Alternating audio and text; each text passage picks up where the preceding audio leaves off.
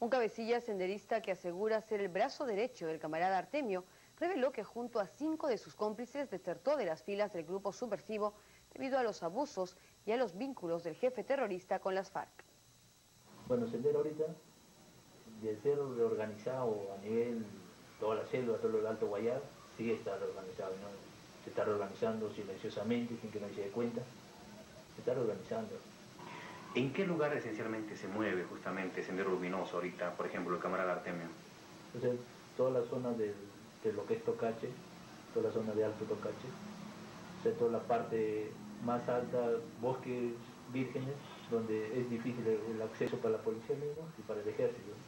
Esa es nuestra carta de nosotros ahorita allá en la selva. Por eso ellos no pueden entrar así nomás, porque si entras 10 metros al monte y si no conoces, te pierdes.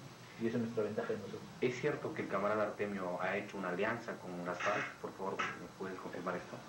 Sí, han tenido un encuentro, ¿no? Está un, hombres de las FARC que han venido y están traficando, ¿no? Tienen un aeropuerto fluvial que están trabajando con látex y están trabajando con cloro. Sendero, aparte de la seguridad, aparte que no se deja ingresar gente informante, ¿no? Como son los soplones. Eso es lo que nosotros más nos cuidamos, gente de inteligencia, como las mujeres que hay. Entonces nosotros sabemos todas las tácticas del ejército y la misma policía. ¿En qué lugar está ubicado los señores de la FARC? Se dice que han entrado a la parte del, territorio peruano. Todavía no pasa en el río. ¿No pasa en el río? Todavía no pasa. Una vez que pasa en el río, ya va a ser bien, bien diferente la cosa. ¿Es cierto que los de la FARC le dan un maltrato a los miembros de Sendero Luminoso?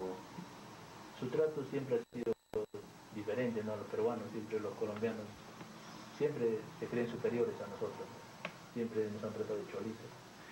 ¿Es cierto que el ejército le vende armas a Sendero Luminoso? Bueno, en los tiempos que nosotros hemos estado, yo he sido un comprador de un mayor del ejército que nos ha vendido FARC, aparte de municiones. Cada FARC nos vendía 1.500 dólares. Según el estado del FARC que nos, daba, se le pagaba. ¿Recordarías el nombre del, mayor, este mayor que...? Mayor Caimán. Manuel Caimán.